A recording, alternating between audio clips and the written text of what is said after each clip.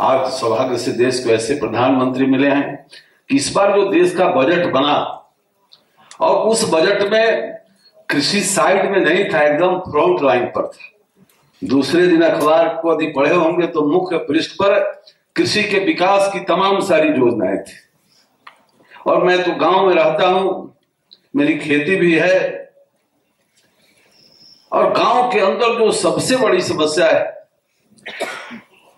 कि गाँव में जो किसान रहते हैं, छियासी प्रतिशत किसान जो लघु और सीमांत किसान हैं। आठ साल पहले ढाई हेक्टर ज़मीन जिसको होता था, ढाई हेक्टर तक उसको लघु और सीमांत किसान करते थे। अर्थात छियासी प्रतिशत किसानों के पास मैक्सिमम ढाई हेक्टर ज़मीन था और एक परिभाषा बन गई। और आज जब हम मंत्री बने हैं और जब देखते हैं तो ये परिभाषा अब सवा हेक्टेयर पर आ गया है। अब लघु और सीमांत किसान जो 86 परसेंट है, उनकी जोत अब सवा हेक्टेयर पर आ गई। मतलब कितना तेज़ी से, देश तो बहुत आगे बढ़ा है।